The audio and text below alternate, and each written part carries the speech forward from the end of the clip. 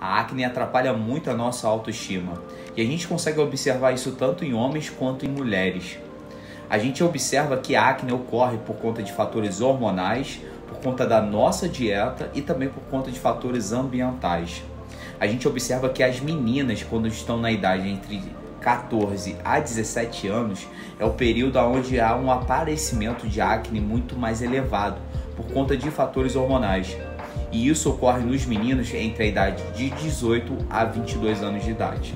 Alguns suplementos conseguem trabalhar de diversas maneiras na redução do processo da acne na nossa pele. Eu gosto muito, pessoal, do famoso chá verde, pois ele consegue ter uma ação antimicrobiana, reduzindo ali as bactérias que podem causar a acne, e ela também consegue trabalhar na redução do hormônio que aumenta a produção de sebo na nossa pele, que é a dihidrotestosterona.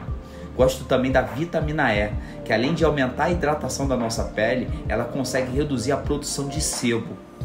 Outro produto fantástico é o famoso zinco, que além de ter uma ação bactericida, ela, ele também consegue melhorar fatores inflamatórios, ajudando a reduzir a acne e melhorando também a qualidade da nossa pele.